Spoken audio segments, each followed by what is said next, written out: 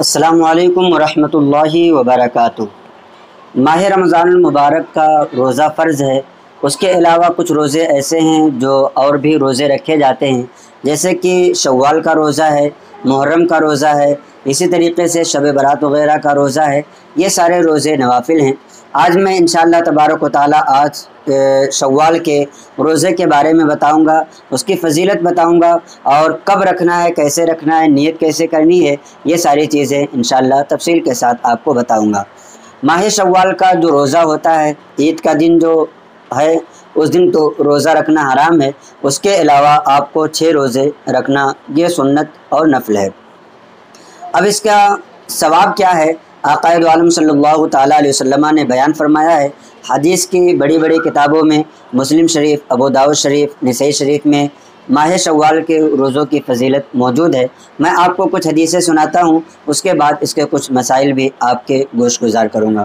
عقائد عالم صلی اللہ تعالیٰ علیہ وسلم نے بشارت عطا فرمائی ہے کہ جو شخص ماہ شوال کے چھ روزے رکھے تو گویا کہ اس نے پورے سال روزہ رکھا۔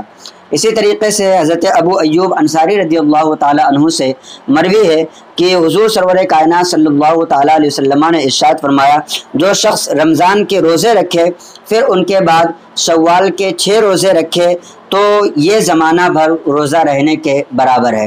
زمانہ بھر روزہ رہنے کے برابر ہے کا مطلب کیا ہے کہ سال بھر روزہ رکھنے کے برابر ہے کہ اگر انسان سال بھر روزہ رکھتا تو اس انسان کو جو فضیلت ملتی ہے وہ ماہ شوال کے چھ روزہ رکھنے پر اس کو یہ فضیلت حاصل ہوگی۔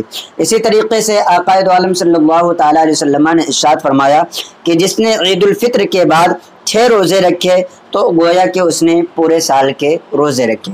تو ماہ شوال کا جو روزہ ہے، اس کی بے پناہ فضیلت ہے۔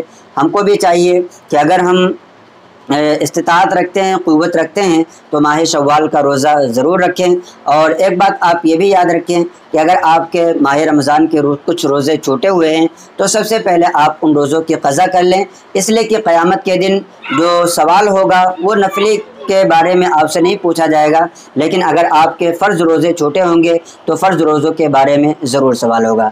اب رہی یہ بات کہ یہ روزے رکھنے کیسے ہیں؟ کیا لگاتار روزہ رکھنا ضروری ہے؟ تو فقائے کرام نے اس بارے میں ارشاد فرمایا ہے کہ نفلی روزوں میں مسئلہ ایسا ہے کہ خاص طور سے شوال کے روزے کے بارے میں بیان فرماتے ہیں کہ ہر ہفتے میں دو روزے رکھے جائیں۔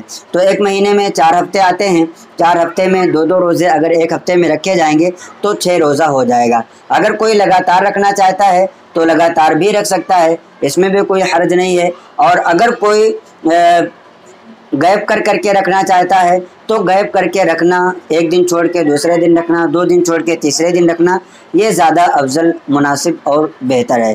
تو آپ بھی زیادہ سے زیادہ کوشش کریں کہ اگر آپ کے روزے باقی نہ ہوں تو آپ ماہ شوال کا روزہ رکھیں اور اگر آپ کے روزے باقی ہوں تو سب سے پہلے آپ ان روزوں کی قضا کریں اور اس کے بعد شوال کا روزہ رکھیں۔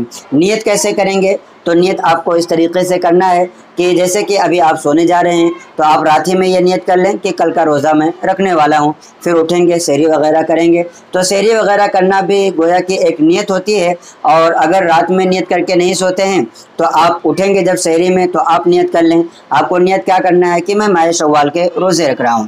اگر آپ کو زبان سے کہنا ہے تو آپ زبان سے بھی کہہ لیں کہہ لیں کہ نوئی تو ان اسوما غدن للہ تعالیٰ، کہ میں کل اللہ تعالیٰ کے لیے روزہ رکھوں گا۔ آپ اتنا الفاظ کہہ سکتے ہیں۔ اور اگر یہ الفاظ نہیں کہہ سکتے ہیں، تو آپ اپنے دل میں یہ ارادہ رکھیں کہ ہاں کل کا روزہ مجھے رکھنا ہے، تو انشاءاللہ تبارک و تعالیٰ آپ کا روزہ مانا جائے گا۔ آپ کے روزے میں کسی طرح کی کوئی قباحت نہیں آئے گی۔ تو امید کرتا ہوں کہ آپ کو یہ ویڈیو پسند آئی ہوگی۔ اپنے دوستوں احباب کو بھی اس کلپ کو زیادہ سے زیادہ شیئر کریں تاکہ انہیں بھی دینی معلومات حاصل ہوں اور وہ بھی دین کے مسائل کو سمجھ سکیں۔